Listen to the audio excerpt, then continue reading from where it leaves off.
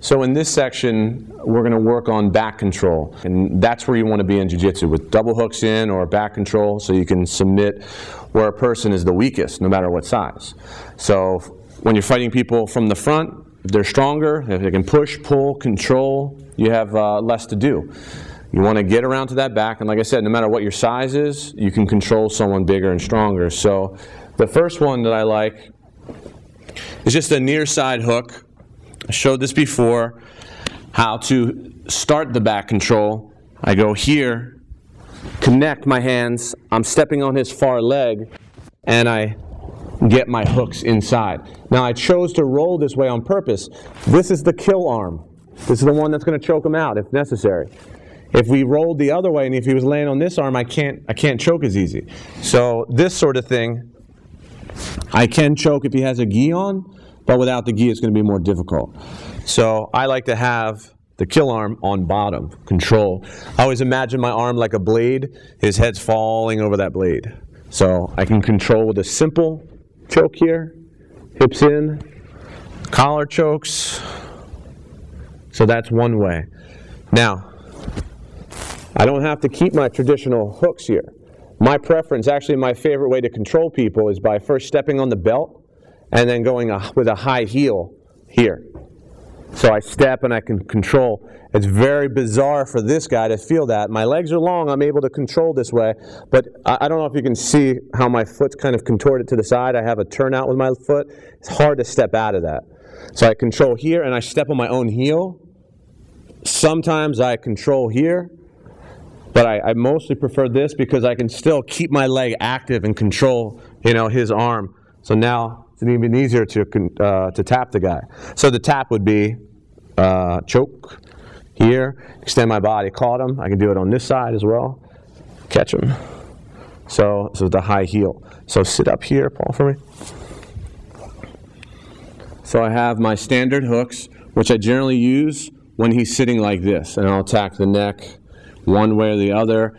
Very common seatbelt grip. I do this one. I also do double unders because it, well, the guy tends to take his hands and push my hands down, which makes it easier for me to catch. So I kind of you kind of have to fake him out here. So if I do this or I hold the lapel, he'll start pushing one down, which makes it easy for my leg to control now his arm.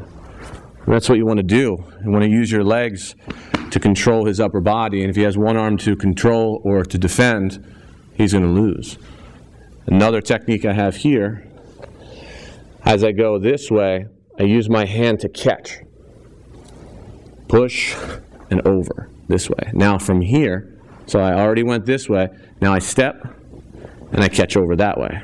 So he's really going to get extended this way, and then it's a very similar attack to what I showed before. I can triangle my legs here, uh, and then I have him here in the choke or simple armbar.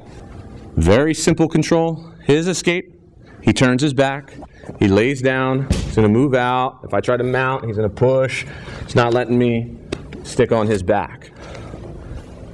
So I'm putting out the posts. I can hold his gi right here, this way. If I know he's going to land over there, the post goes out. It's my elbow on the floor. It's no power either because of this bone, the way it's le uh, leveraged. If my elbow were in, he can fold over it. Go back again. So I'm bowing my elbow outward. Hard for him to throw his back. It's impossible for him to throw his back. Now I'm digging double heels over here into his, into his legs, and I'm going to scoot and bring him back center. If he falls the other way, I hold, I have a post out over here. So I'm holding here, no gi, you can just go like this and post. My elbow's posting on the ground. So he can't throw his back. If he breaks through it, he's going to turn. He escaped my back position. So I'm here trying to attack. Let's say he's closed up here. And stay here. I'm not trying to attack anymore. When I feel and when I feel his choice of movement, he goes here, my elbow goes out, and my hand is ready because he'll start opening up and trying to figure out what's wrong here. And I go for my choke, start stepping over right away. High heel here, arm control. I can use my toes too here. Go hook behind his back. So he's completely controlled right here. for MMA, it's great because you can elbow the guy, hit the guy. Actually, I don't know if you can elbow the guy that way, but you can control, use the arm bar here. I can use triangle from behind here, catch him, just sit up and tap the guy out. Arm bars galore here. This post you would use if he's totally close. I can't get him. I can't get inside. But I have a good position here.